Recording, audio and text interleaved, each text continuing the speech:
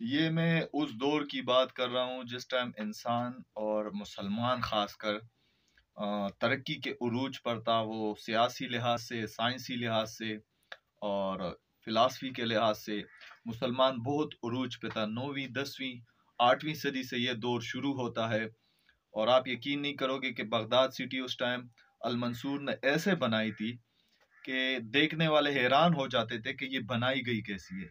इतनी तरक्की याफ्ता सिटी उस टाइम बगदाद थी और किताबों का एक जुम्बटा लगा होता था। लोग बड़े बड़े फिलासफर और साइंसदान वहाँ पढ़ने आते थे बगदाद सिटी में। और आप यकीन नहीं करोगे कि मुसलमान ने साबुन और खुशबू ये चीज़ें ईजाद की थी तो यूरोप कई साल तक यहाँ से साबुन ले जाता था, सदियों तक, बल्कि सालों तक के यहाँ से साबुन सिर्फ़ ले जाता था। वो उनको पता नहीं होता था कि ये साबुन बनता कैसे। ये मैं यूरोप की बात करूँ, यूरोप उस टाइम को डार्क एज कहते हैं। उसकी ये वजह है कि वो सियासी इखलाकी और स्टडी के लिहाज से बहुत पीछे थे मुसलमानों से। लेकिन फिर हिस्ट्री ने टर्न लिया।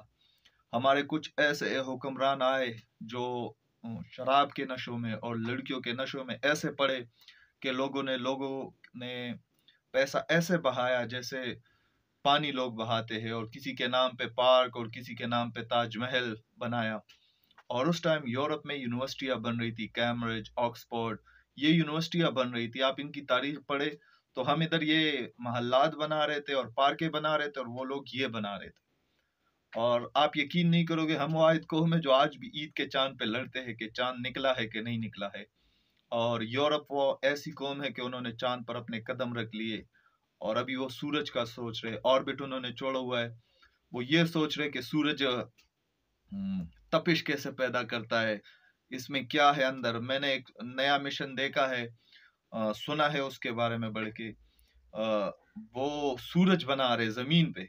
मतलब बनाए ना बनाए वो अलग बात है लेकिन टेक्नोलॉजी में वो इतने आगे हो रहे तो हम जो थे आज इस दौर में हम इस हमारे पीछे रहने की वजह ये है कि हमने एक दूसरे की टांगे खींचनी है।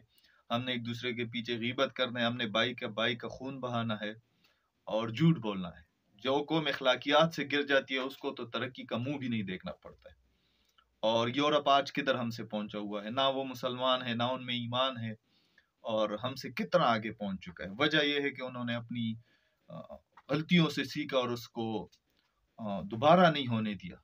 और हम वो वाहिद कौम है जो अपनी गलतियाँ दोबारा बार बार करते और हम पीछे होते जा रहे तो जो सक्सेस की बेसिक चीज़ है, वो ये है कि मेहनत करनी पड़ेगी और वो भी लगन से वरना हम और भी पीछे होते जाएँगे।